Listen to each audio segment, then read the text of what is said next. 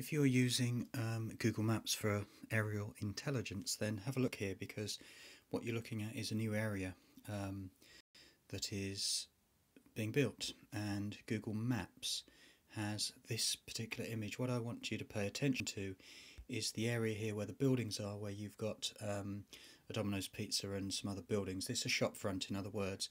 What you'll clearly see are buildings and um, some building going on.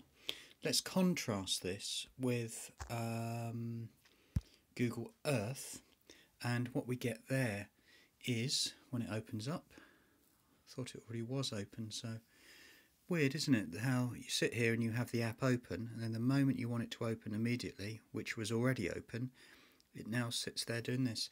So what I'm getting at here is that the more complex three-dimensional images um, are older can clearly see again that we've got a lot of um, construction trucks running around a load of brown earth, which is so in other words, the same development here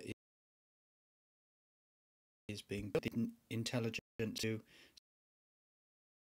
say it's a 3D image, but it's old. Over to Google Maps again, which once again was open, wasn't it? When I was um, talking to you. Now it almost like shut itself down. Um, and look at that, it's also nipped itself out back to regular. Um, anyway, you get you get the idea. So um, okay, it's two dimensional, but you've definitely got more in. Um, and uh, you may be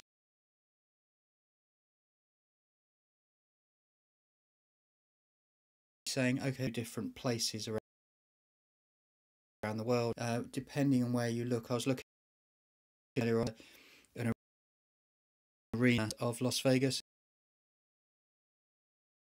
Nevada, two dimensionals. Army be a tip.